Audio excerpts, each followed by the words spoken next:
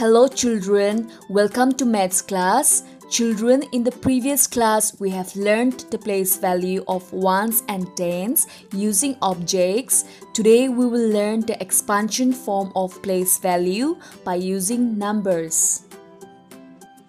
Children, look, there are 9 bits. Number 1 to 9 are single digit numbers.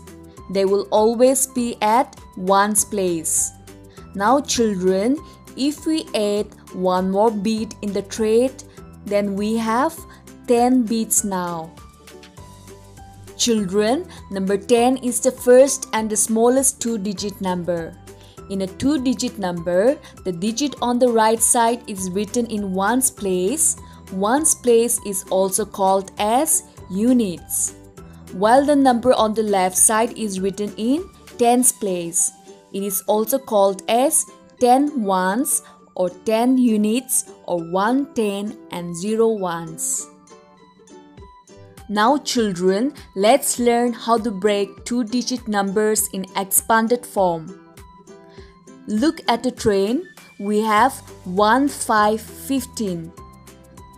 5 will go in ones place and 1 will go in tens place.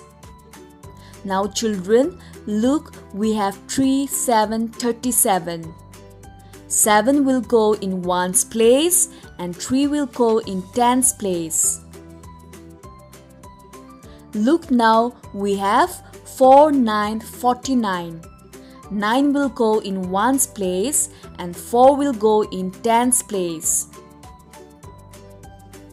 Children, which number do we have now? We have 2, 4, 24. So 4 will go in ones place and 2 will go in tens place. Children, let's do a quick review. Look, we have 5, 0, 50. So the digit 0 will go in which place?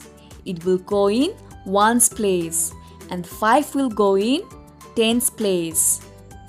Now we have number 3 to 32. Children, will number 3 go in ones place? No, it will go in tens place. And number 2 will go in which place? 2 will go in ones place.